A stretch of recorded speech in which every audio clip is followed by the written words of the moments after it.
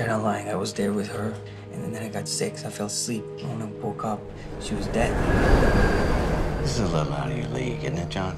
You're not gonna get rich off it, but that's what you're thinking. It's gonna be the shortest trial in history. Yeah? Is that why you haven't charged him?